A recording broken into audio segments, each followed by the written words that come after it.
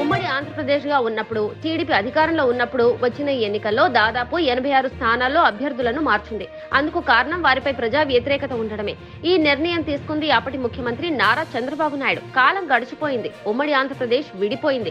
తెలంగాణ రాష్ట్రంలో టీడీపీ దాదాపుగా కనుమరుగైంది. సుదీర్ఘ చరిత్ర ఉన్న చంద్రబాబు నాయుడు ఆంధ్రప్రదేశ్ రాజకీయాలకు మాత్రమే పరిమితం కావాల్సి వచ్చింది. రెండు వేల పద్నాలుగు ఎన్నికల్లో గెలిచిన ఆయన తన ప్రభుత్వంలోకి ఇరవై మూడు మంది వైసీపీ ఎమ్మెల్యేలను తీసుకున్నారు. ఆ తర్వాత రెండు వేల పంతొమ్మిదిలో జరిగిన ఎన్నికల్లో ఓటమి పాలయ్యారు. టీడీపీ చరిత్రలోనే కానీ విని ఎరగని ఓటమిని ఆయన రుచి చూశారు. ఐదేళ్ళు గడిచిపోయాయి. ప్రస్తుతం ఏపీలో ఎన్నికలు రాబోతున్నాయి. ఈ క్రమంలో ఈ ఐదు సంవత్సరాలు అధికార పార్టీగా వెలుగొందిన వైసీపీ ఎన్నికల ప్రణాళికలు రచిస్తోంది. ఇందులో భాగంగానే చాలా వరకు అసెంబ్లీ నియోజకవర్గాల్లో అభ్యర్థులను మార్చేస్తోంది. గతంలో ప్రభుత్వాన్ని ఏర్పాటు చేసే క్రమంలో సిట్టింగ్ ఎమ్మెల్యేలందరికీ టికెట్లు ఇస్తామని జగన్మోహన్ రెడ్డి ఏనాడు చెప్పలేదు. పైగా ప్రభుత్వం ఏర్పడిన తొలి నాళ్ళలో మంత్రివర్గంలో తీసుకున్న వారందరికీ రెండున్నర సంవత్సరాలు పూర్తి కాగానే ఉద్వాసన పలికారు. అంతేకాకుండా వచ్చే ఎన్నికల్లో మరొకసారి అధికారం నిలబెట్టుకునేందుకు ప్రజా వ్యతిరేకత ఉన్న ఎమ్మెల్యేలను పక్కన పెడుతున్నారు.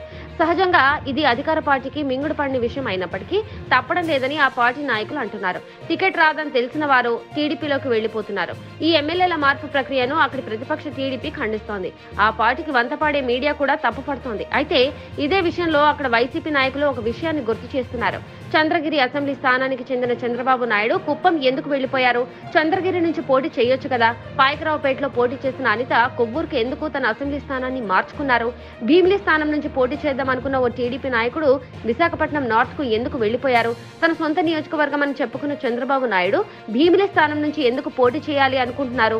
అంతేకాదు తన స్వస్థలమైన గుడివాడలో పోటీ చేయకుండా బాలకృష్ణ బీసీలు అధికంగా ఉండే హిందూపురంలో ఎందుకు పోటీ చేస్తున్నారు? ఆయన కూడా గుడివాడ నుంచి పోటీ చేయొచ్చు కదా.